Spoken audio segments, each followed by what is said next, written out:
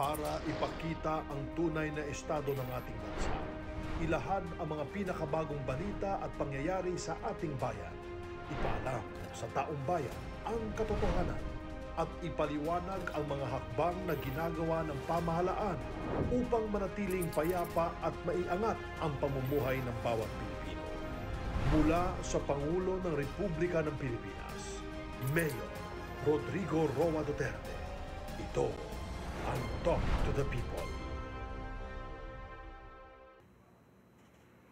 Magandang gabi sa inyong lahat.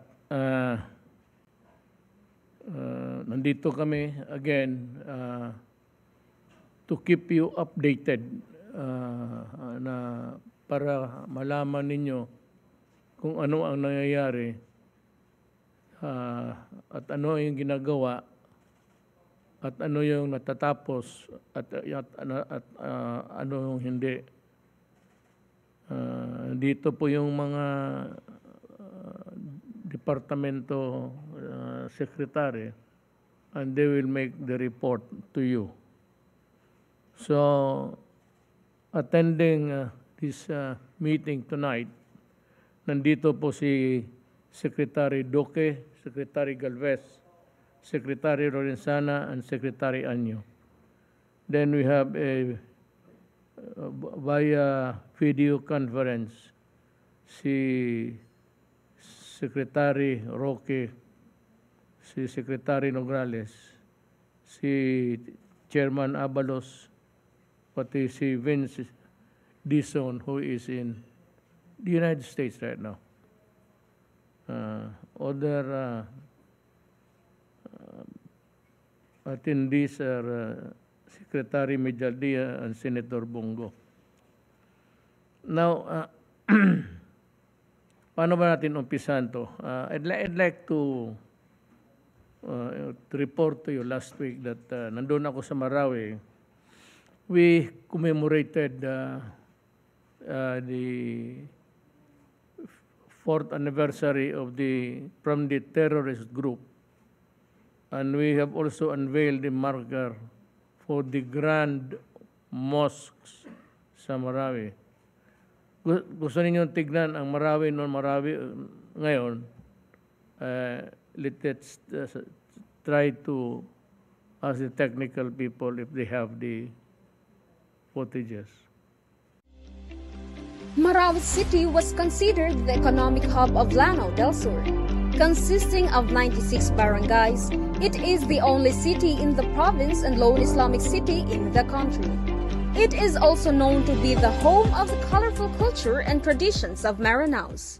However, on May 23, 2017, a firefight broke out between the military forces and members of the ISIS-inspired Maute terrorist group in Barangay Basak, Malutlot. Several attacks were also made by the terrorist group in some parts of the city as diversionary tactics. Dubbed as the longest urban warfare in the history of the country, the siege left dozens killed, property and infrastructures destroyed, and civilians of the city facing the aftermath of the destruction. After five months of firefight, government troops crushed terrorist Maute group and restored freedom and peace in the city. Ladies and gentlemen, I hereby declare Marawi City liberated from the terrorist influence that marks the beginning of rehabilitation of the city.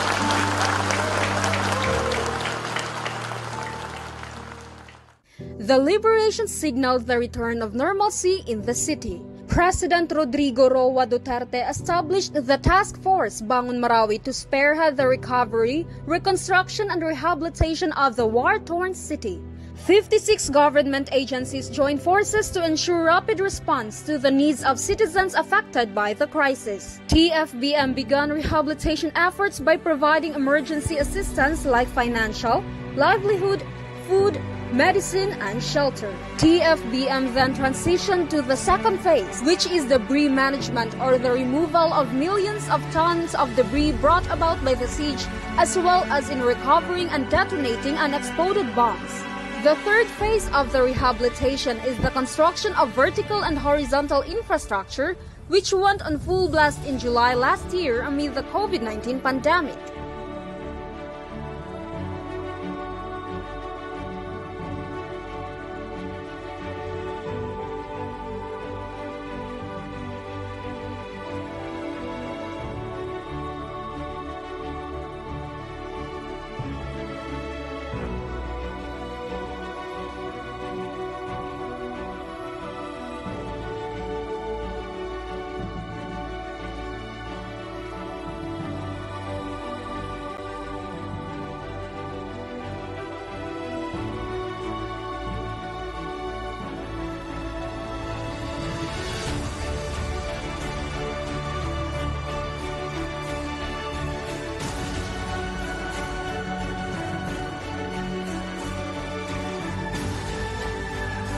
Akala kasi namin yung pamigay na bahay, mga scam lang yan.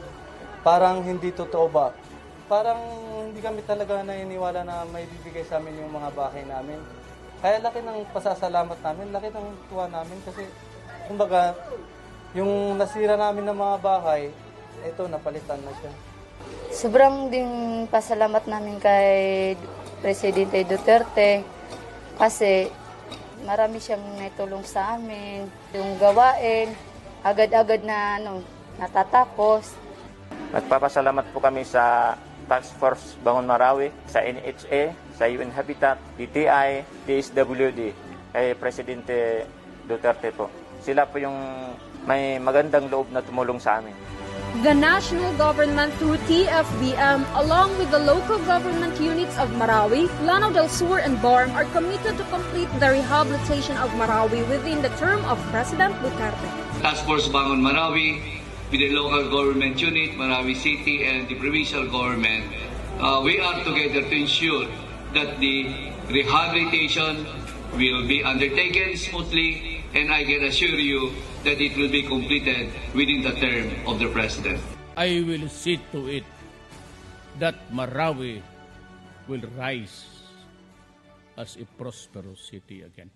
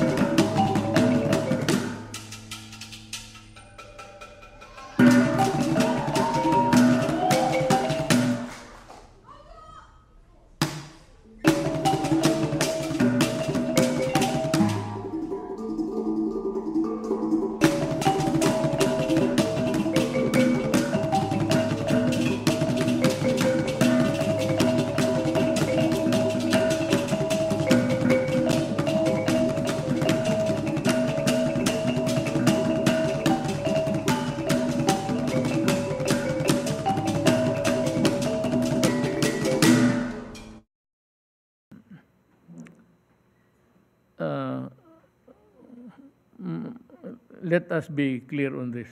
Uh, we in the in the in government executives uh, executive department cabinet member uh, uh, si secretary de Rosario said we do not uh, claim any credit for this uh, to rebuild uh, Marawi was a government uh, commitment and trabahante lang kami.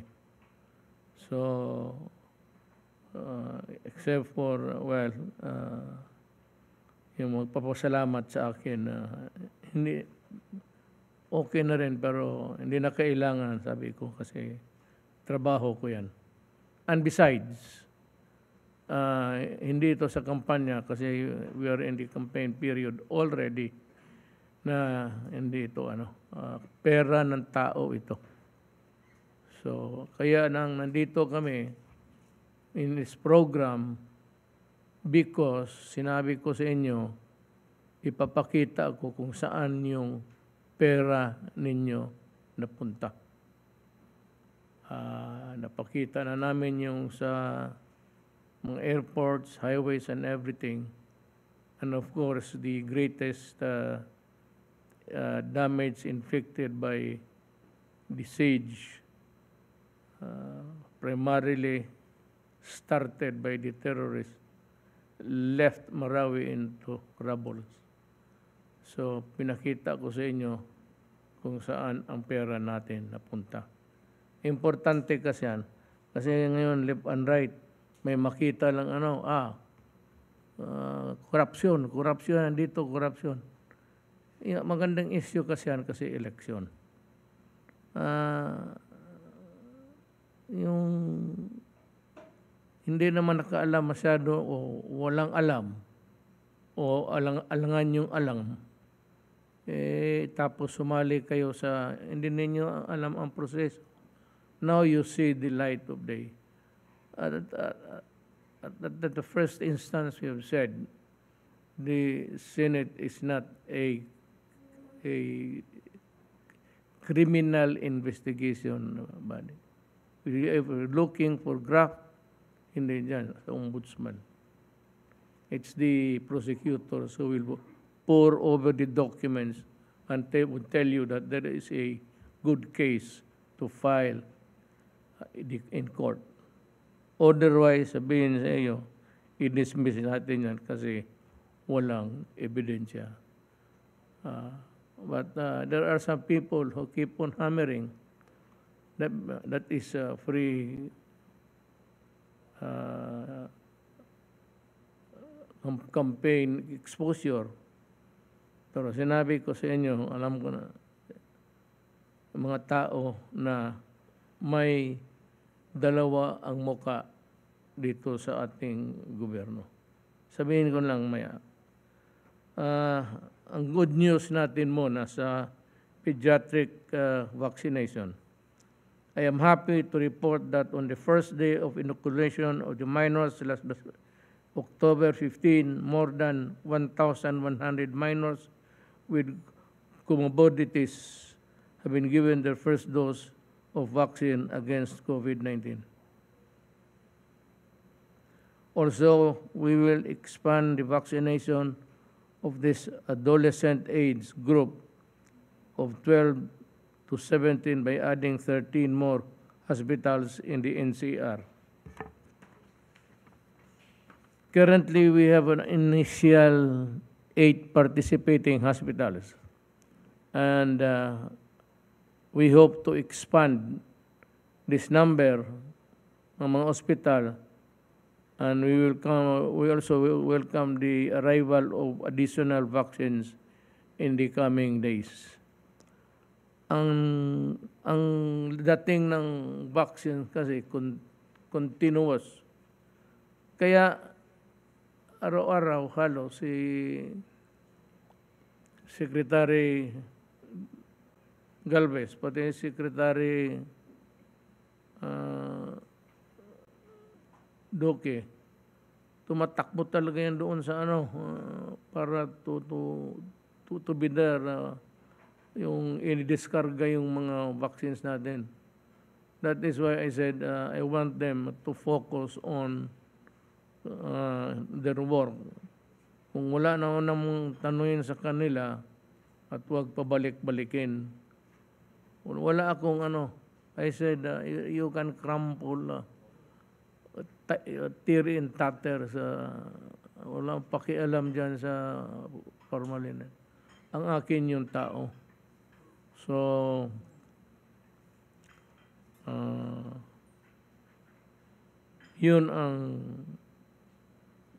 nangyari niyan. As of October 18, we have received more than 191.5 million COVID-19 vaccine doses. We expect this number to reach a total of 104 million doses by the end of the October. Tapos meron tayong vaccines donations. We thank the Japanese government for their donation of close to 2 million doses of life-saving vaccines. Indeed, Japan is a friend closer than a brother, ready to help in times of need. Our thanks go also to the United States for providing more than 2 million doses of COVID-19 vaccines delivered through the facility called COVAX. This is the seventh shipment of vaccines from the United, United States, totaling approximately 18 million doses of vaccines. These vaccines deliveries demonstrate the strength of the U.S.-Philippine alliance. The deliveries also demonstrate the wisdom of the Philippines' decision to do its part in contributing to the COVAX facility and strengthening its engagement with the United Nations and the World Health Organization.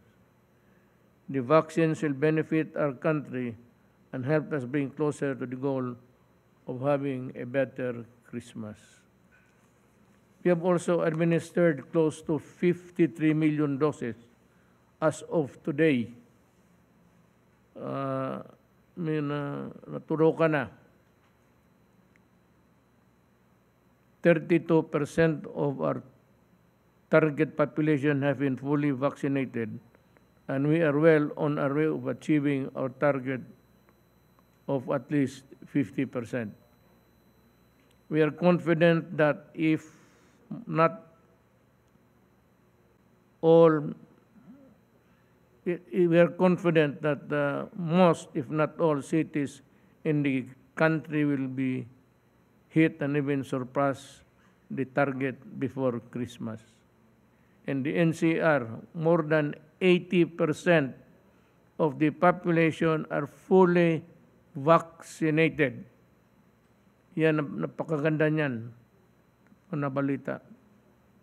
This is not just for your own protection, but also for the civic duty to protect others and also allow to turn the page and get everyone back to track of normalcy. So medyo dumadive yung nahawa. Wala nang mahawaan kasi may bakuna eh. By the way, let, let me just talk to you about itong uh, bakuna. Until now, early, early on, unang mga araw, wala pa tayong bakuna, nag-warning na ako sa inyo. Na kasi may mga tao, may, may grupo ng tao, may sektor dito na gusto Moderna, gusto Pfizer, Ito gusto US, ayaw ng made in China. But after all, they're all done in the laboratories with people who are really well equipped medically to do the job. So sabi ko, huwag kayong mamili. Ngayon, mayroon na naman na gustong gusto ayaw magpa-deliver ng iba, kung hindi Pfizer pati Moderna. Sinasabi ko sa iyo, kung hindi totoo yung mga bakuna na na itong sa Sinovac pati Sinopharm, ito yung unang nagdating, ay di marami ng patay. If they are not effective, uh, if they are not uh, good, eh, bakit ngayon halos wala ng patay? And yet you continue to mingle uh,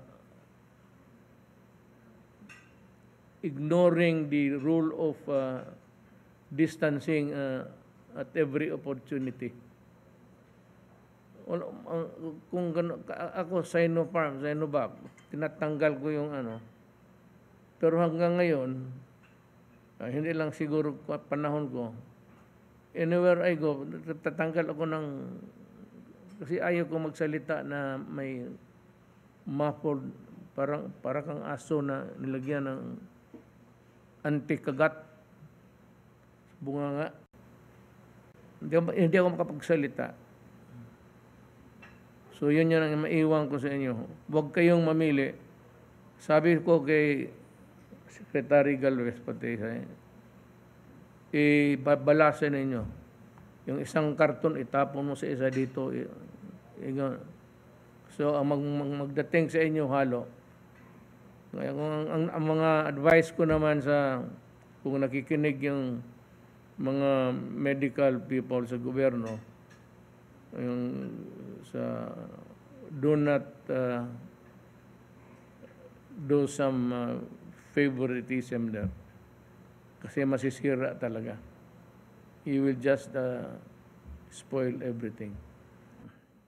For the good news, again, uh, yung FedEx uh, is the largest logistics company in the world.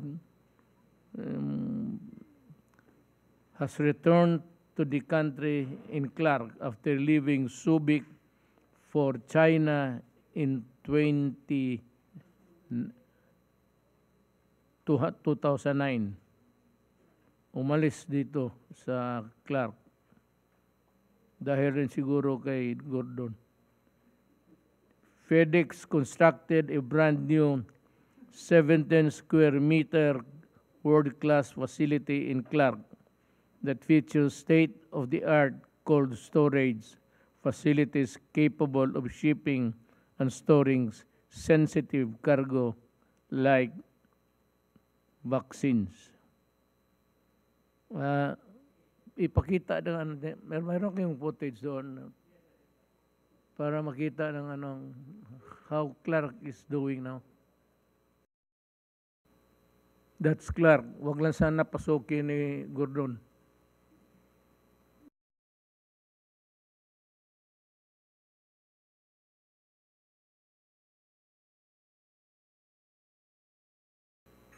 Yun. Pinakamalaking ano. Let's go to the re- report of the uh, individual uh, secretaries about their department and their work. And call on uh, Secretary Galvez uh, first. Go ahead, sir.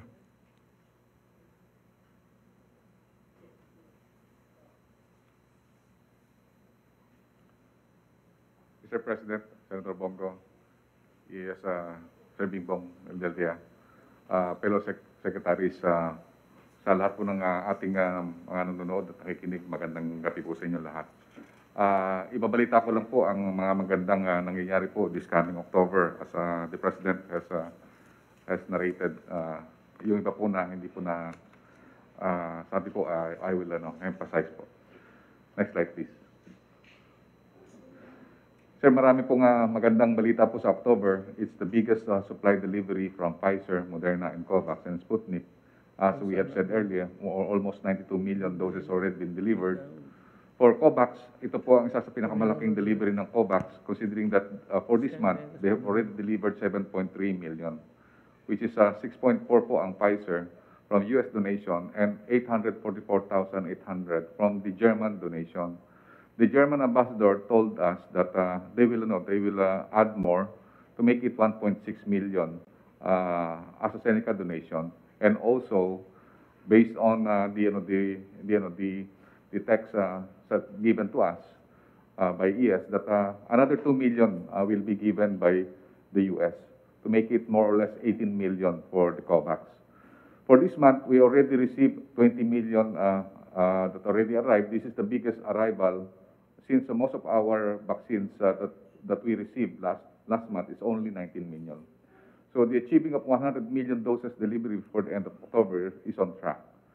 And uh, right now, the supply is not anymore an issue. We have more than 38 million doses in our warehouses. Next slide, please.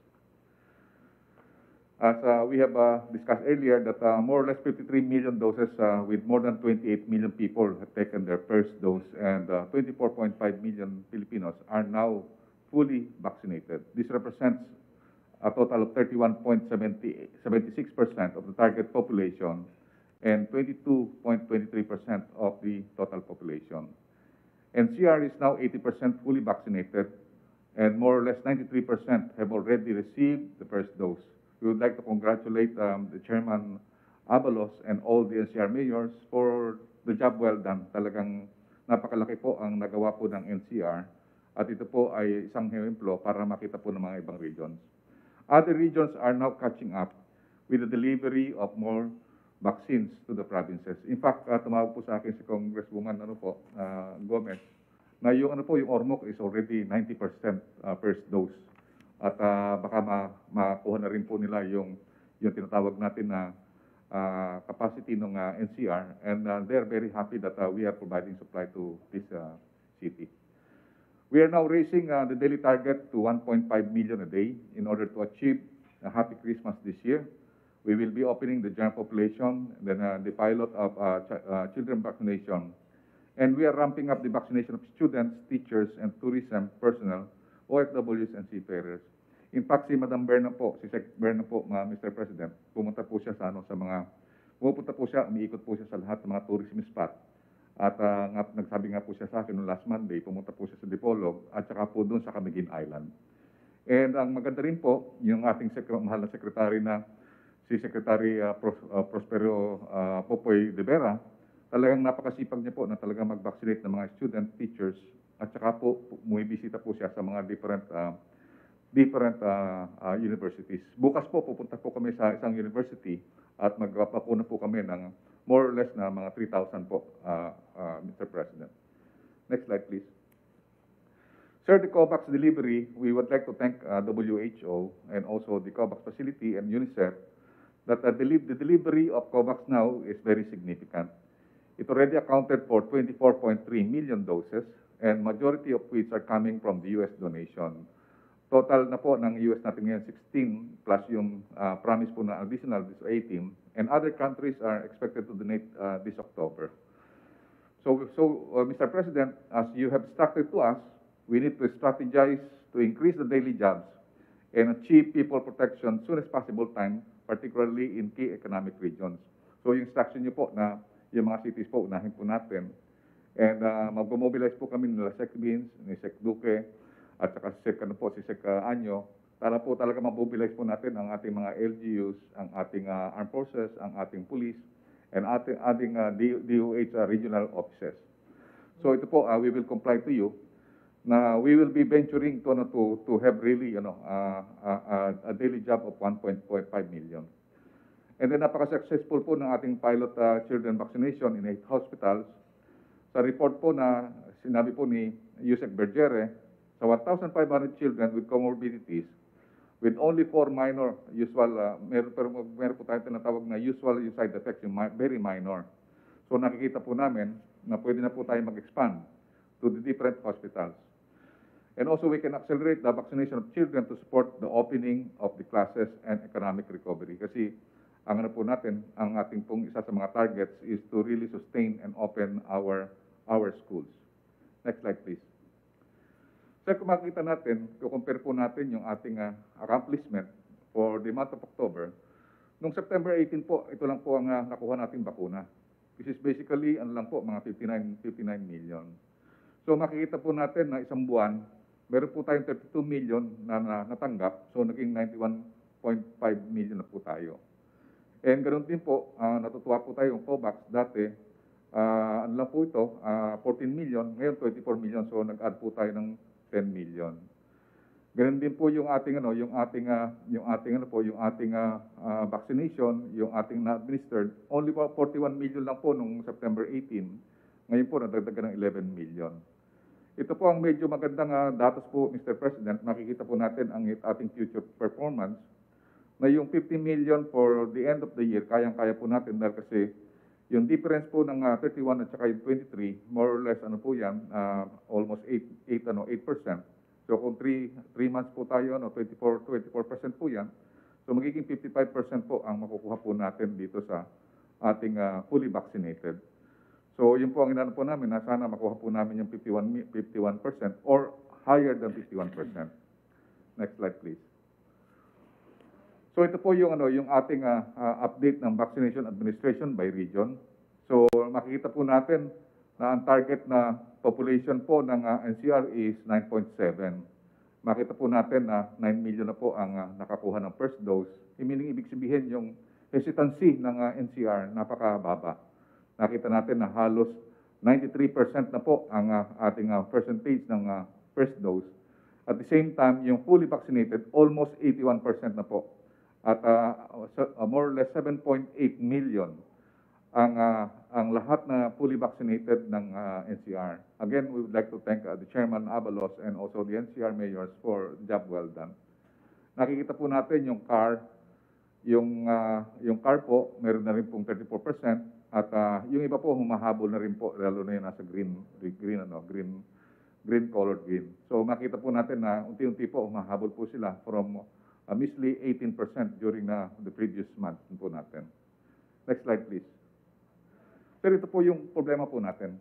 I, ka, mak- makikita po natin yung talagang problema dahil kasi itong nakikita natin, ito yung tinatawag na trifecta of supply, throughput, and demand. Okay. Noong dati po, Mr. President, supply po ang problema po natin. Ngayon po, ang problema po natin yung throughput. Kung paano po natin i-administer yung mga vaccine. Next slide, please.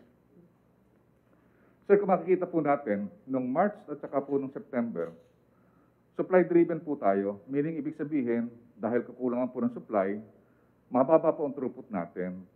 So ngayon po, sir, ang problema sir natin na dito, itong sosolve po natin ngayon. Kasi ang ating, ah, yung sinasabi nyo nga po, na marami tayong ano, na, naka, ano, naka, naka-stockpile na more or less 39 million na vaccine.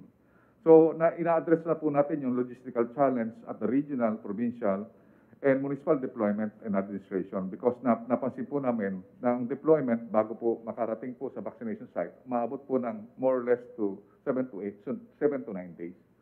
So ito po ang sinusolve po namin ni Sec Beans, Sec Duque, at saka po ni Sec Anyo, kung paano po mapapibilis yung ating deployment from the national warehouse down to the administration site.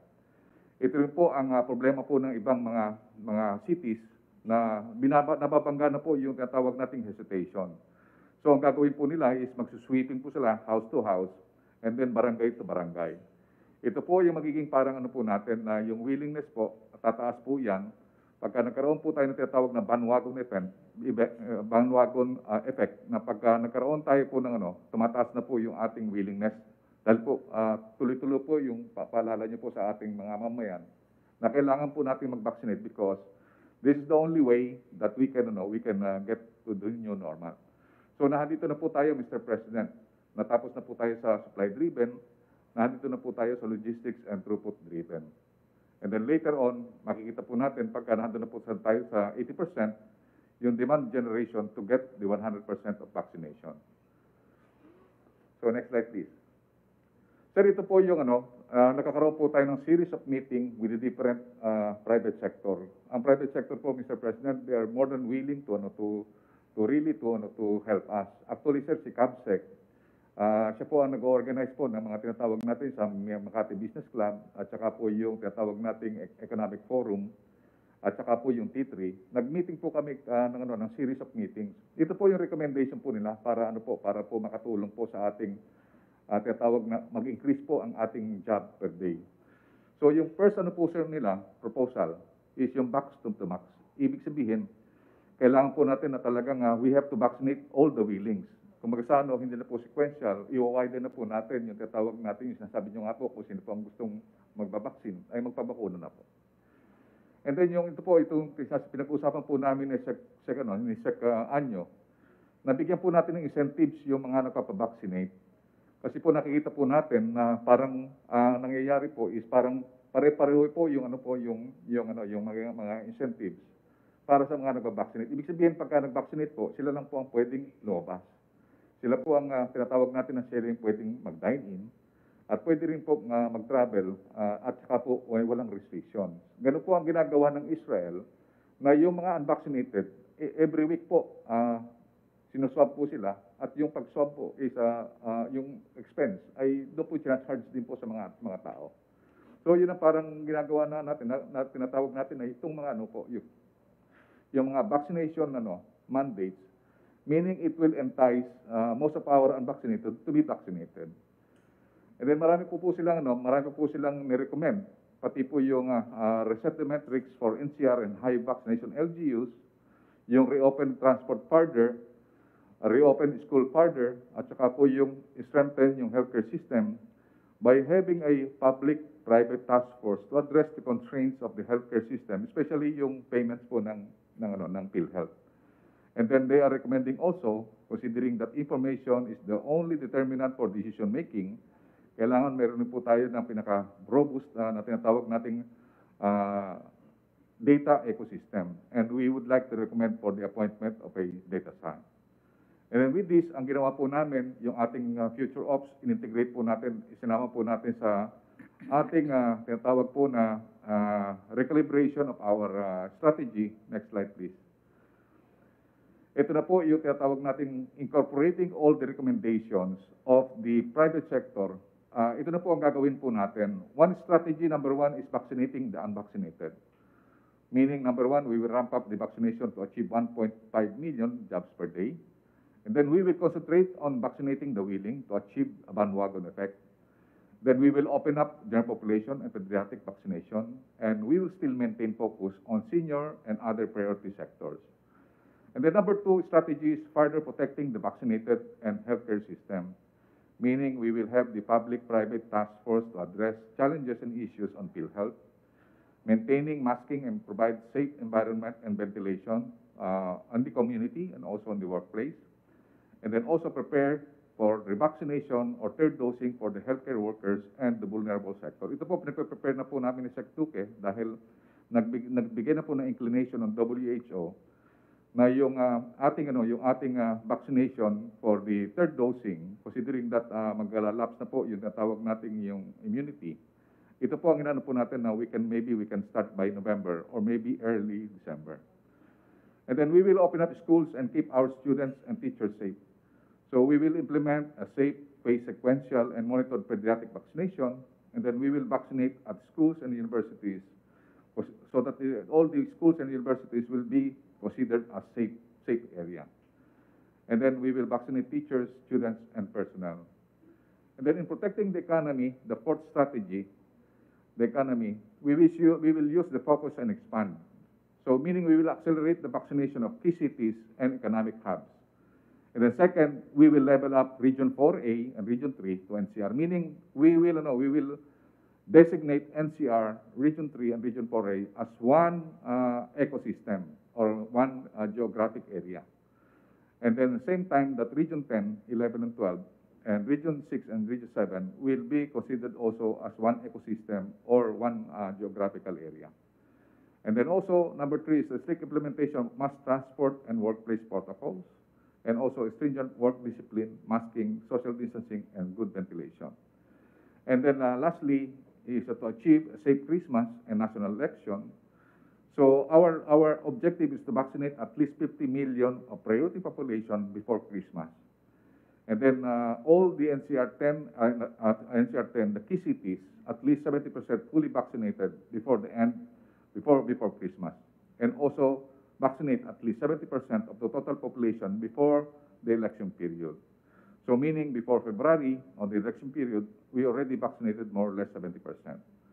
Next slide, please. So this will be our way forward, meaning our future operations.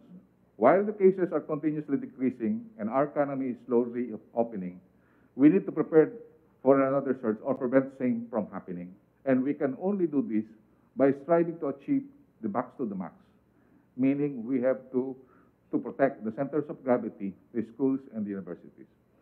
Then second is to regenerate our healthcare workers and frontlining, meaning uh, kailangan po natin ma- maipahinga ng konti yung ating mga healthcare workers. At the same time, we have to create another surge in preparation for another surge. And then third, we have to reorganize and reconstitute our hospitals to strengthen further our healthcare system. Number four, to protect our seniors and children, and also to improve ventilation and minimum health standard enforcement at workplace. That's all for my report, Mr. Pres- President. Maraming salamat po. Thank you. Uh, Can we have uh, Secretary Duque? Good evening, Mr. President, and uh, magandang gabi, ga- gabi uh, kay Senator Bongo, uh, ES Medi Aldea, at sa mga kapwa ko, uh, cabinet members, at uh, higit sa lahat ng ating pong mga kababayan. Ang uh, aking pong report ay may uh, tatlong bahagi. Unang-una ay uh, yung uh, ating pong maikling ulat ukol sa Typhoon Marine Response na susundan ng ating uh, usual COVID-19 uh, updates. Bilang panimula, Mr. President, nais namin kayong uh, bahaginan sa ginawa natin pagtugon sa Bagyong Maring as of October 19, 2021. Meron uh, higit 200,000 pamilya o higit 800,000 individual ang naapektuhan sa 1,592 barangay sa Regions 1, 2, and CAR. At sa bilang na ito, meron po tayong 543 na pamilya o 2,084 na individual ang nananatili sa 61 evacuation centers sa mga rehiyon. Meron anim na na sira na mga health facilities na agad natin na natugunan at nakapagpadala po tayo ng uh, siyam na Health Emergency Response Teams or HERTS sa Ilocos Sur, Nara, Palawan at uh, CHD 8 upang mapibilis ang uh, medical and emergency response operation sa mga lugar na ito. At meron na rin halos 8.5 million worth of health commodities gaya ng mga gamot at mga COVID-19 related supplies na preposition ng ating mga CHDs o regional uh, offices upang magamit sa ating uh, response uh, operations. At uh, patuloy lamang ang ating ugnayan sa ating mga Centers for Health Development at uh, local health units concerned upang makapag uh, paabot ng uh, nararapat na serbisyo sa mga apektadong pamilya sa mga lugar na akin pong uh, nabanggit. Next slide. Dito naman po para sa atin na usual COVID-19 updates. Ngayon pong uh, ikalabing siyam ng uh, Oktubre ay uh, may nadagdag na 4,496 na bagong kaso. Ito po ay uh, mas mababa doon sa nakaraan na dalawang araw na mga 6,000 plus. Uh, noong October 15 ay nasa 7,000 tayo. So nakita natin ito po ay uh, tuloy-tuloy ang uh, pagbaba. At sa ngayon po, yung ating 4,496 na naidagdag uh, na mga kaso, 741 po ay uh, mula sa National Capital Region. At 465 naman mula po sa Region 2 and 254 mula sa Region 4A. At ang mga pangunahing lugar uh, na nakapag-ambag ng uh, mataas na mga kaso, ang Negros Oriental 211, ang Cagayan 182, ang Zamboanga 155. Para naman sa ating mga aktibong kaso, ang bilang ngayon, uh, ikalabing siyam ng Oktubre ay nasa 63, yan po, 63,637 at ito po ay ang katumbas 2.33% of all cases at uh, ito po ang isa sa pinakamababa natin na naitala na mga aktibong kaso. Samantala, ang atin pong recoveries ay umabot na sa 2.6 million thereabouts, no? Representing uh, 96.17%. At ang atin naman mga pumanaw ay uh, na idagdag na 211. Ang pangkalahatan natin na bilang ay 40,972. Ang katumbas po nito ay uh, 1.5% uh, percent case fatality rate. At uh, next, uh, ito naman pong uh, patuloy, uh, makikita natin ang uh, confirmed uh, COVID-19 cases by adjusted date of onset. Uh, ito pong atin four-week moving average. Ito po yung black line. Makikita po natin ang uh, nag-peak po tayo sometime in September. Ayan po, pinakamataas natin, 20,948. Pero after that, nagsimula na bumaba ang mga kaso. In fact, ngayon po, October 13 to October 19, ito po yung uh, ang naitala po na average daily cases ay nasa 6,955, which is 31% lower than the uh, previous week or prior to uh, this week, from October 6 to October 12, na kung saan ang uh, atin pong uh, seven-day moving average uh, of uh, 10,065 uh, daily cases. At uh, from here, galing po rito ay uh, nasa 20% po ang uh, ibinaba at ito po 31% ang uh, ibinaba. So ito naman po yung uh, atin mga representative regions na uh, may mga pinakamataas na mga kaso. So sa madalit salita, Mr. President, talagang uh, ito malinaw na malinaw na nag-umpisa na talagang uh, patuloy ang pagbaba ng mga kaso. Next slide. Ito naman po yung ating mga confirmed cases. Uh, ito po yung mga iba't ibang mga epidemic curves uh, ng mga iba't ibang uh, uh, major island groups. Yung pong uh, kulay blue, ito po ang NCR. Nakita natin na una na siyang uh, nagpakita ng malaking pagbaba ng mga kaso after the uh, surge uh, sometime in uh, mid-September. Sumunod po ang uh, rest of Luzon. Medyo nahuli po ang pababa ng uh, uh, rest of Luzon. At uh, sumunod naman din po rito yung atin uh, plus areas of uh, Bulacan, Rizal, Laguna, Cavite. Uh, at nakita po natin ito naman ang uh, Mindanao, uh, yung kulay orange na epidemic uh, curve. Uh, bumaba na rin po. Ganon din naman ang Kabisayaan. Nag-umpisa na rin pong uh, bumaba ang mga kaso. So, all in all, nakikita po natin the evidence that uh, our cases have uh, uh, truly uh, started to uh, to go down. No? Next slide. Ang uh, healthcare worker benefits as of uh, October 19 at uh, 16 billion na ang atin na ipamahaging benepisyo pangkalahatan para sa ating po mga healthcare workers at kasama rito ang pinakabagong ulat ng uh, ating pamamahagi ng special risk allowance at COVID-19 sickness and death compensation. At kumpara sa amin huling uh, uh, talaan no October 11, tumaas ng bahagya ang pondong na ibaba para sa special risk allowance ng healthcare workers na kabilang sa batches 3 and 4. Ang naipamahagi na nasa humigit kumulang na 55,000 healthcare workers ay nasa 735 million uh, pesos na po at mula sa huling ulat na 617,000 617 million uh, pesos.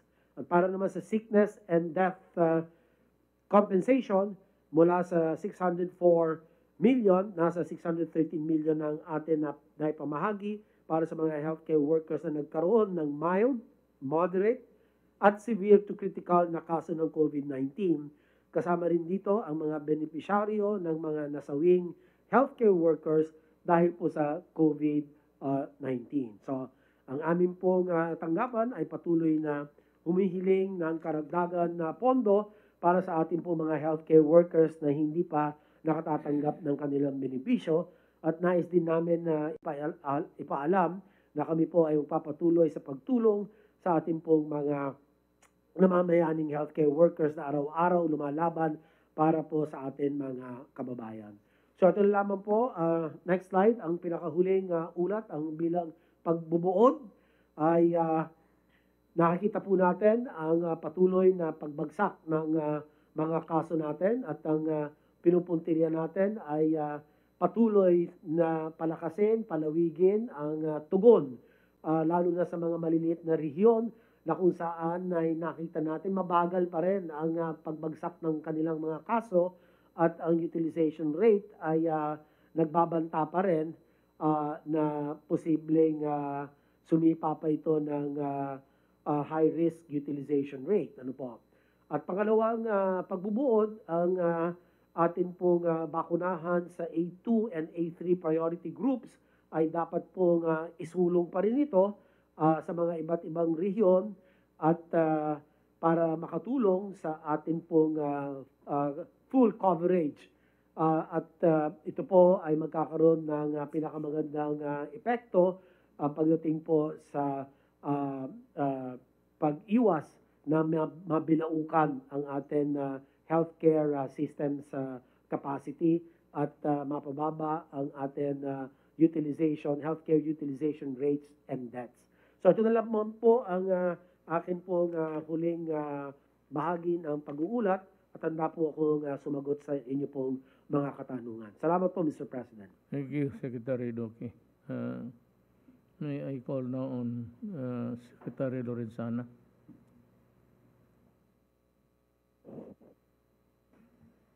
Magandang gabi, ah, Mr. President. Ah, magandang gabi, mga kapwa ko, Lingkod Bayan. Ah, Mr. President, ah, ito po yung aming re- report ng Crisis Management, ah, Crisis Action Plan Implementation na pinapatupad ng ating National ah, Task Force on COVID. Next slide, please. Ah, ito po yung ating mga ginawa nitong nakaraang linggo ah, sa tracing and isolation, meron po tayong 12,370. Suspected cases ay, uh, uh, confirmed cases ay 6,453. Close contact trace, uh, 47,813. Yung po ating mga contact tracers ay medyo bumaba ang bilang dahil uh, yung pong kontrata ng mga 20,000 libong uh, contact tracers ay natapos na. Dito naman sa ating COVID test ah, natin, ay meron tayong na mula nung mag-umpisa yung ating ah, ah, crisis management ay 751,000 na yung ating na testing. Sa total natin ngayon, kabuuan po mula nung mag-umpisa tayo ay 20,865,838. Next slide please. Ito po magandang numero dahil ah, bumaba po yung ating uh, occupancy rate. Ibig sabihin na 22% na lang sa kabuuan nito ang ating ang uh, may occup- uh, occupied ng ating mga may uh, may cases. Oh. Ah, kaya dumami po dumami po yung ating mga bakante, bakanting uh, uh, beds. Next slide. Next slide please. Patuloy po rin nating pinapatubad yung minimum uh, public health standards sa itong nakaraang linggo ay uh, nakahuli sila ng violators, six- 361,470. Yun namang mga hindi pinalusot sa sick points ay 16,342. At saka yung mga hindi dapat lumalabas ng bahay ay 1,725. Next slide. Ah, ito po yung health ah, facility subcluster. Ito naman yung bilang ng mga hospital hospital beds na nakalaan sa ICU at saka sa mga um, COVID, COVID beds. Ngayon po ay bumaba ng 57% na yung ah, weekly healthcare utilization rate na binanggit na kayo na ni ah, Secretary Doke, pero ito po yung ah, magandang numero ngayon halos kalahati na lang ang ah, occupancy rate ng ating mga hospital beds ng pang-COVID. Kaya nga po, yung mga ibang hospital ay nagbabawas na ng ah, COVID ah, wards at COVID beds. Kasi kukunti na lang po yung nagpapa-hospital. Next slide, please. Ito, ito po yung numero ng ano, napaka ano po, this is clear na itong mga hindi vaccinated ay sila yung mga nandoon sa ICU beds, ICU wards, at saka yung intubated, yung pong ah, meron ng tubo na nakas- nakasaksak sa lalamunan, ay ah, sila yung mga hindi vaccinated. Kaya po siguro ito magiging uh, natin, halimbawa natin sa mga taong ayaw pa magpabakuna na dapat sila mabak- mapabakunahan na. Ito naman po sa ating ano, mga health workers na ating uh, hinahire ay ah, 96% na of the 10,000 to 6 ang nakuha na natin. Next slide please. Ito naman sa border subcluster ay uh, merong 37,391 OFWs quarantine. Positivity rate of ROFs. Ito ba yung mga mga returning overseas Filipinos na bumabalik? Ito lang, uh, nag-decrease yung kanilang positivity from 1.75% to 1.48%. Maganda pong uh, ano to pa, uh, gauge ito ng uh, kung gaano katindi yung ating pag, pag-testing ng mga COVID. 16,701 naman ROF, saka foreigners ang uh, ating nasistihan. Ito naman yung 80,025 quarantine rooms for uh, ROFs. Uh, sa dam- marami po yung ating quarantine rooms, 80,025 na quarantine rooms uh, for ROFs, returning Filipinos, NCR, Clark, Cebu, Davao. Marami po yan and uh, Subic. At ang kanila occupancy rate ay 79, tao, 79%. Yun naman sa, sa airport, meron tayong 1,198 isolation rooms para po sa mga dumarating na, na kailangan i-isolate with a, with a 40% occupancy rate.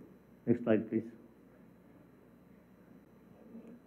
Ito yung mga dumarating ng mga ano natin, mga OFWs, 1,805 ang uh, seafarers assisted, 9,352 returning overseas Filipinos by repatriation at saka 9,000 through 66 Bayanihan flights.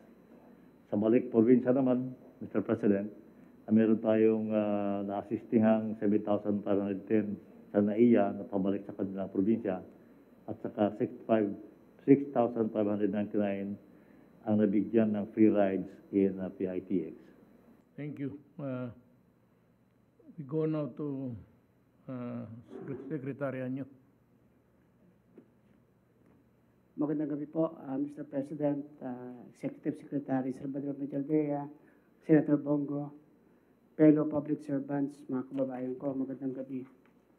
Unang-una pong iuulat ko ay ang nagaganap na bigayan ng ayuda sa probinsya ng Bataan. Ito na lamang po ang natitirang probinsya matapos makatapos ang NCR at ang uh, probinsya ng Laguna. So nakita po natin 99.01% or total of 691,364 beneficiaries na po ang nakatanggap. At ito na po ang huling linggo ng palugit na ibibigay natin sa Bataan para tapusin ang pagbibigay ng ayuda. Next slide, please. Dito po makikita ang uh, breakdown ng uh, pagbibigay ng ayuda sa lahat ng municipalities ng Bataan. Next slide. Uh, dito naman po sa ulat natin sa kampanya against illegal drugs. Makikita po na nakapagtala tayo ng 1,000 nakapagtala po tayo ng 933 operations at nagkaroon po ng pagka-aresto sa 1,331. Labing-anim naman po ang nag-surrender at walo ang namatay sa anti-drug operations. Gusto ko lang pong bigyan ng pansin ng dalawang insidente. Ang isa ay naganap noong 16 October, 3.30 p.m. sa Aguinaldo Highway, Dasmariñas, Cavite, kung saan ang pinagsanib na pwersa ng PIDEA, PNP, AAP, NICA at Bureau of Custom ay nakapag-conduct ng buy-bust operations na nakapag-aresto ng dalawang drug uh, pusher at naka confiscate ng 240 kilos worth of shabu. Naghahalaga po ng 1.65 billion pesos. At noong pong 18 October naman, 10 a.m., sa Punta Verde Subdivision, Pulong Kakutod, Angeles City. The same din pong grupo ng ating mga operators ang nakapag-conduct ng bypass operation. Apat na Chinese national ang nasawi at nakapag-kumpiska ng 38 kilos worth 262 million pesos worth of Cebu. Kaya makikita po natin, sa loob lamang po ng isang linggo, 2 billion, 11 million, 570,419 pesos worth of Cebu ang ating ah, nakumpiska. May tuturing po na isa ito sa pinakamalaking ah, accomplishment ng ating mga law enforcers. Next slide. Ito naman po ang talaan ng mga violations na na-record natin sa dumaang isang linggo. Ayan po ang uh, not wearing a face mask, 92,000. Mass gathering, 1,582. At no physical distancing sa 51,000. Ah, Mr. President, nais ko rin pong ah, ibalita at paalalahanan na sa nalalapit nating eleksyon ay pinag-uutos natin at pinagbabawal sa ating mga kandidato ang pagbibigay ng tulong pinansyal, material o politikal na suporta sa CPP, NPA, NDF at mga kaalyado o kasaping organisasyon ito. Kabilang na rin ang Abu Sayyaf Group, Bangsamoro Freedom Fighters at iba pa.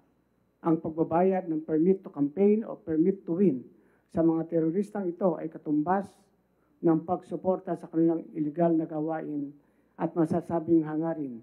Mahigit itong pinagbabawal sa, ili- sa ilalim ng ating batas. Dito po sa Section 4 of RA 10168, the Terrorism Financing Prevention and Suppression Act of 2012 ay uh, pwede pong patawan ng reclusion temporal hanggang reclusion perpetua o kaya ay uh, magkakaroon ng fine na mula 500,000 to 1 million pesos sa mga lalabag sa batas.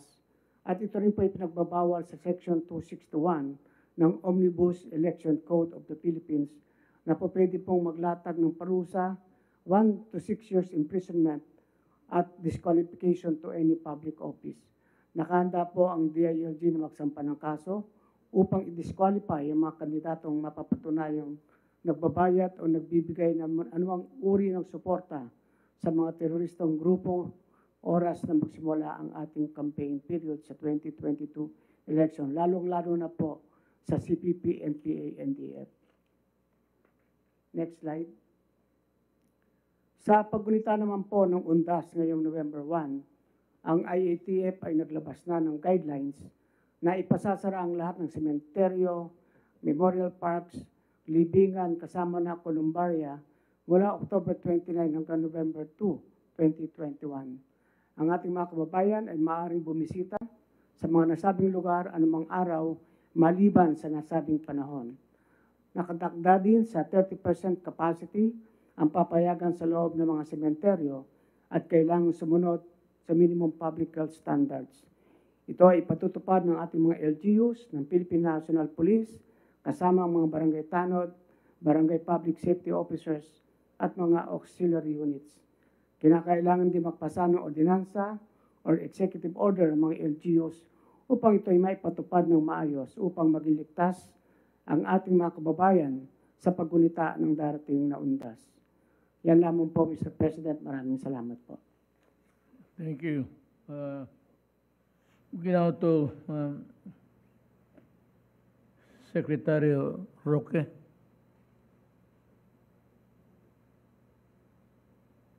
Juvad, magandang ah, gabi po, ah, Mayor. Magandang gabi po kay ah, um, Executive Secretary uh, Medialdea at kay Senator Bongo at sa lahat po ng kasama natin na nanunungkulan sa gobyerno. Well, ang, ah, ang ulat ko po ngayon ay ah, pinalawig po natin yung ating pilot para sa alert level system. At ito po ay ah, i-implement din natin sa ilang mga rehiyon sa iba't ibang parte ng Pilipinas. So ka- kabahagi pa rin po ito ng ah, pilot study at hindi pa po ito talaga permanente. No? Pero sa ngayon po, linagay po natin sa alert level 4 ang Region 7, Negros Oriental, ang Region 11, Davao Oriental. Nasa ilalim naman po ng alert level 3 ang Region 4A, Cavite, Laguna Rizal, Region 7, Siquijor, at Region ah, 11, Davao City, Davao del Norte. Nasa ilalim po ng alert level 2 naman po ang Region uh, 4A Batangas, Quezon Province, Lucena, uh, city. No? Sa Region 7 po, Bohol, Cebu City, Lapu-Lapu City, Mandawi City, Cebu Province ay nasa alert level 2 rin. Kasama po sa Region 9 ay ang mga probinsya ng Davao de Oro, Davao del Sur, Davao Oriental. Ang alert level 1 po ay uh, ito po ay uh, reserve po at inaamen po natin yung ating mga uh, matrix na dapat bago mga alert level 1 eh meron na pong 70% ng populasyon ng A2 at A3 at ang eligible population ang nabakunahan na. Um, mat- pagkatapos po nito ay uh, nandito po yung ating uh, classification para sa iba't ibang lugar na hindi po pa, hindi pa po kabahagi ng alert level system. So nasa ilalim po ng MECQ mula 16 hanggang 31 of October ang mga uh, lugar ng Apayao, Kalinga, Batanes, Bulacan, Bataan, Naga City sa Luzon at saka ang syudad ng Zamboanga City at ang probinsya ng Zamboanga del Norte sa Mindanao. Nasa ilalim naman po ng GCQ with heightened restrictions sa Luzon po ang mga probinsya ng Abra, ang Baguio City, ang Ilocos Sur, ang Pangasinan, ang Cagayan, ang Isabela, ang City of Santiago, ang Nueva Vizcaya at ang Quirino. Sa Visayas po, nasa ilalim din ng GCQ with heightened restrictions ang Bacolod City at ang Capiz. Sa Mindanao po, uh, kabahagi po ng GCQ with heightened restrictions ang Zamboanga del Sur, Misamis Oriental, Cagayan de Oro City, Butuan City, Surigao del Sur. Mapapasa ilalim naman po sa GCQ.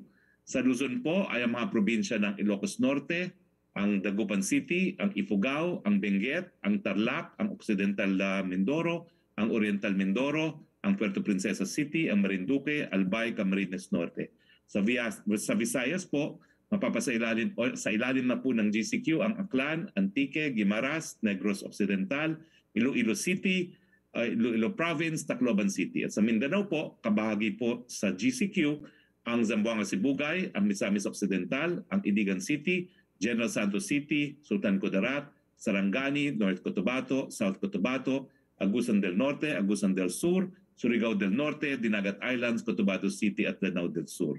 Ang mga lugar na hindi po natin nabanggit, eh lahat po sila ay mapapasailalim po sa MGCQ. Next slide please. Um, so yun lang po ngayon ang ating uh, marireport sa ating uh, taong bayan at uh, maraming salamat Mayor at sa lahat ng ating mga kasama. Salamat uh, Secretary Roque.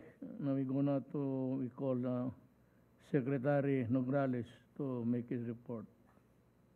May adlaw, Mr. President, Senator Bongo, ES Medialdea, and uh, ang ating mga kaubanan sa gabinete, mga kababayan. Ang report ko po ay tungkol naman sa Commission on Filipino Overseas or CFO na alam naman po natin ay nasa ilalim po ng Office of the President. Uh, yung CFO, Mr. President, uh, mandated under Batas Pambansa Bilang 79 para ma-promote and uphold yung interest, rights, and welfare ng overseas Filipinos. Uh, pero ang emphasis po uh, ng services ng CFO para po sa mga Filipino immigrants, ito po yung mga Filipino permanent migrants abroad, uh, mga permanent uh, residents abroad ng mga Filipinos, mga naturalized in other countries, those who hold dual citizenship, Filipino spouses and other partners of foreign nationals, descendants of overseas Filipino, Filipino youth overseas, exchange visitor program participants, and Filipino au pair participants. Ito po yung coverage ng uh, CFO. Sa contribution naman ng CFO to to our government's pandemic response, um, actually patuloy naman ang trabaho ng CFO uh, at uh, they undertook several initiatives dito sa uh, pagtugon sa pandemic ng COVID-19 and they ensured its continuous delivery of services. Uh, but they were also able to realize savings ng 10.2 million pesos which kinontribute naman po ng CFO to uh, the pandemic response uh, last year. Amidst the pandemic ay committed pa rin ang CFO to its mantra na kalidad na serbisyo para sa mamamayan abot sa labas ng bayan. Next slide. Nag-facilitate din po ang CFO office uh, from 2016 to 2020 ng mga donations uh, 174.59 million pesos worth of uh, donations in financial donations and um, in-kind or material donations channeled through the Lingkod sa Kapwa Pilipino or Link Appeal at uh, nakapag-benefit ng more than 265,000 sa pamamagitan ng mga small-scale at uh, high-impact projects for social and economic development needs. Uh, kabilang po dito yung mga medical missions, calamity relief, calamity relief assistance, classroom construction, scholarship grants, and skills training and skills transfer. Next slide. At uh, malaki rin po yung ambag ng CFO Office sa War Against Human Trafficking bilang miyembro ng Interagency Council Against Trafficking or IACAT at uh, chair ng Advocacy and Communications Committee ng nasabing uh, council. Uh, they continue to operate itong 1343 action line. Ito po yung National Hotline Against Human Trafficking na nagbibigay po ng mga emergency response um, at uh, tumutugon sa mga crisis calls from victims of human trafficking and their families. In fact, almost 250 cases mula sa hotline na ito ay na-handle po ng commission. May hinanda po na video presentation ng CFO para mas lalo nating ma-appreciate ang accomplishments po nila. Um, if we can play the video of the Commission on Filipino Overseas.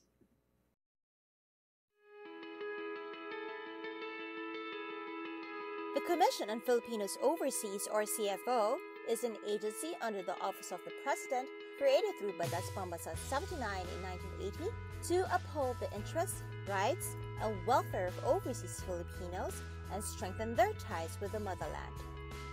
To ensure the welfare and protection of Filipino migrants on the issues and realities of migration, the CFO registers and provides pre-departure orientation counseling services to outbound Filipinos and their families who hold permanent resident visas abroad, our spouses, partners, or fiancés of foreign nationals, J1 visa or exchange visitor program participants, and Filipino au pairs to Europe. The Commission has developed online registration services as an adjustment to the new normal brought on by the COVID 19 pandemic. To strengthen overseas Filipinos' ties with Philippines, the CFO engages them as partners of nation building even while abroad through social development programs and services that benefit local communities and families left behind. The Commission serves crucial roles in interagency efforts, such as the Interagency Council Against Trafficking, the Interagency Committee on Philippine Schools Overseas, and the Interagency Committee on the celebration of the Month of Overseas Filipinos. The Commission is proud of several awards and citations in performing its duties, among them its ISO certification, the Prime HRM Bronze Award from the Civil Service Commission, and two unqualified ratings from the Commission on Audit, the highest rating possible for government agencies. To continuously provide quality service to the public, the CFO constantly improves its pool of talent and professionals and lives by its policy statement, kalidad de serbisyo para sa mamamayan, abot sa labas ng bayan. Yun po, Mr. President. Maraming salamat po. Thank you. Well, I guess uh, we're all through with uh, our resource persons now. Wala nang magre-report. Uh, so I will just uh, say a few words about itong Blue Ribbon Committee hearing. We welcome the call of the Philippine College of Physicians that this matter should be immediately given to our courts and the Ombudsman.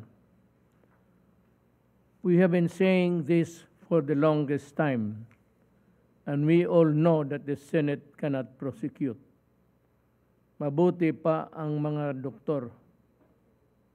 Alam at naintindihan nila. File cases is the right way to go. Stop using this issue in aid of election. election.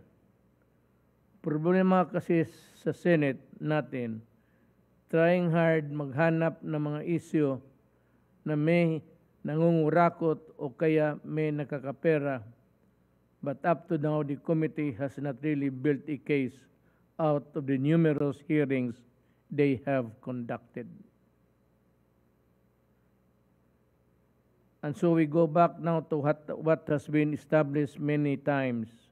Walang overpricing, legal at naging pro, ang proseso legal ang naging proseso ng pagbili according to what has been provided by Bayanihan 1 na deliver lahat at binayaran lang pagkatapos na deliver. And if you think that you have identified companies with tax issues, then file the appropriate cases.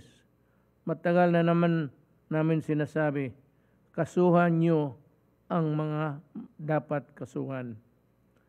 Lahat naman talaga dapat magbayad ng buwis. At kung kailangan magbayad, singilan para magbayad yung may mga atraso sa gobyerno. Kagaya ni Senator Gordon, you have not uh, even uh, taken steps to uh, deliver the 86 million. Uh, and so I think uh, we will have to see if we can call on the ombudsman to step in because patagal itong utang na ito at final and executory na.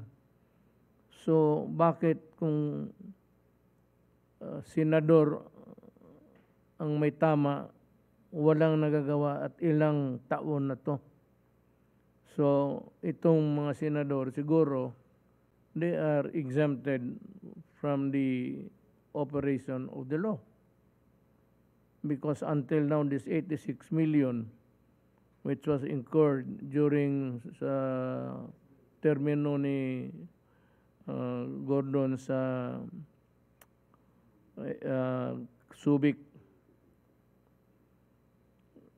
Itong incessant and repetitive uh, summons wala man sana kung patawag ninyo at you can grill them uh, all day long as long as it is relevant, pertinent and all. Sige. Pero kung paupuin ninyo ng ilang oras na hindi naman tatawagin and day to day yung summons, ah, eh, you call my memorandum stupid? Well, I challenge you. Bring your arguments to the proper court and I will answer you. You threaten the budget of different agencies of the executive because the officials refuse to attend to your hearings. Ito yung mga pang-abuso talaga itong masabi ko sa gobyerno sa gobyerno pag uh, demokrasya. Itong uh, separation of powers, co-equal and everything. And they threaten uh, to paralyze government. I challenge you do it. Pag kayong mga hearing, reduce the budget by one-third. Hinahamon ko kayo. Gawin ninyo yan. Ma- Mautak mo kaya kayo. Kaya ako, ordinaryo lang, 75. Pero kaya ng utak ninyo, sige, I challenge you. Eh, ang tatatakot ninyo, mga sekretary. Anong sakit ng, anong ang, ang, ang sekretary? Eh, kaso lang itong, you, you are uh, before uh, gentlemen. Tignan mo, sigaw-sigawan mo yan, makita nyo balang araw, it will come to a head.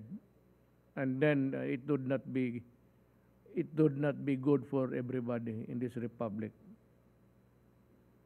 Tingnan mo, subukan mo. Reduce it by one-third. I challenge you. Huwag kang magtakot. Gawin mo. o zero i-budget mo ang Office of the President. Sige nga. Gawin mo daw. Bakit? Abot ba yung pera ninyo kung hindi, mag, hindi magdaan sa akin? Eh, kung hindi ako mag-release, tit for tat. Kala nyo, kayo lang marunong. Alam mo dito sa gobyerno, ah, suplado, takutan. Gordon. Sus Mariusep ka. Yeah, yeah. Know where you come from. At ah, alamin naman ninyo kung saan kami galing.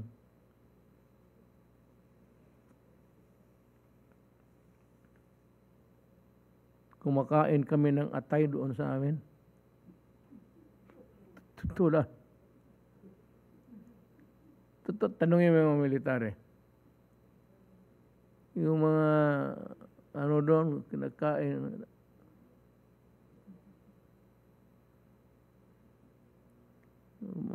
May sa iyo takutan lang eh. Walang takutan, diretso mo na. Let's have a showdown. Sige. Mamahusay lang mo kayo sa mga threatening, threatening, threatening. Let's have a confrontation para tapos na yung hangin mo. Kita mo ngayon, umalis ka na doon sa SBMA. Maganda na ang takbo. Ang hangin doon, wala nang paminsan-minsan na lang. Kasi wala ka na. Puro hangin ka lang eh. Ito yung mga, mga kababayan ko, ito, tingnan ninyo itong mga abusado na akala ninyo, mga Diyos sila. Mm, threatening, threatening. Kaya itong mga reminders na we're encouraging developments in our vaccinations as we, are, as we the number of new cases.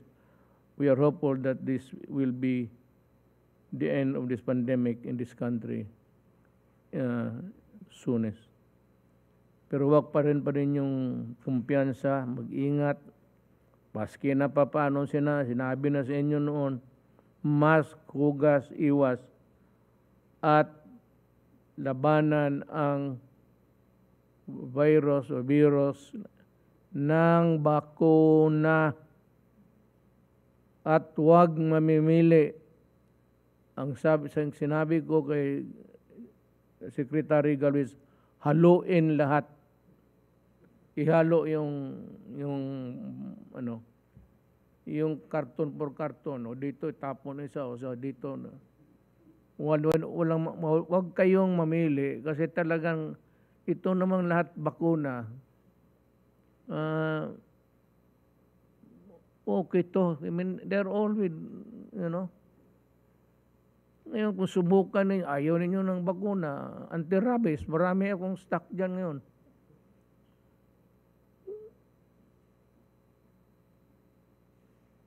Pag may rabies epidemic doon sa lugar ninyo, di yun na lang ipadala ko. Ayaw ninyo ng bakuna ng ano, eh di, huwag kayong mamili. Kasi sinabi ko, lahat yan may visa. Baka ayaw ninyo ng mga China-China. Eh, ngayon gusto ninyo China farm kasi nag-China farm kaming la, lahat dito. Kami nga ang huli. Ano, alam mo kung ang bakuna hindi effective, do you know that if these uh, vaccines that uh, we have been giving to the population uh, are not really effective and uh, right, marami nang patay ngayon. We've been trying hard, really hard to fight, uh, well, uh, itong sa COVID program nakatutok kami lahat dito. And I'd like to thank everybody who, who have uh, really contributed to what we are now seeing. Hindi ko magsabi success, but what you see now. Uh, itong ating roko sa mga senador, okay mo lang yan. Basta do not overstep. Ma- Malaman mo man kasi. Ako na naman ako gago na. Kaya kasabi ko noon ano, continuation. Sabi ko nga kay Secretary Galvez pati sa kay Secretary do kay sige magbalik kayo doon kasi nakaumpisa na kayo. Yung pag-sign ko ng memorandum. Pero kung gano'n man lang uh, gano'n na daw sigawan ninyo. O paupuin ninyo ng ilang oras tapos pauwiin ninyo ni, ni isang tanong wala. Anak ng eh kung gawain ko sa inyo yan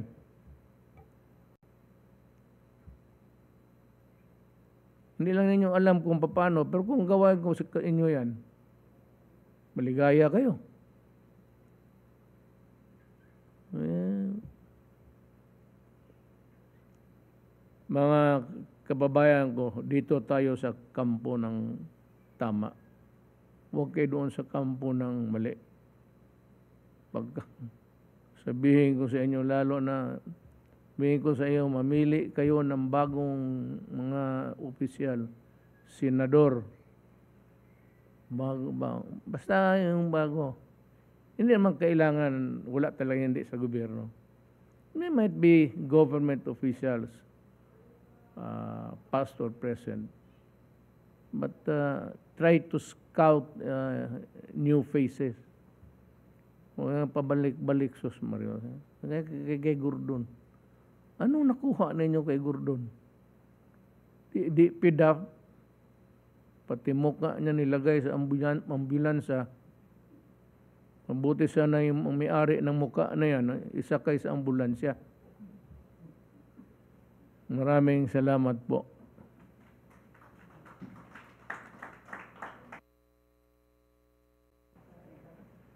Sige na kayo ng.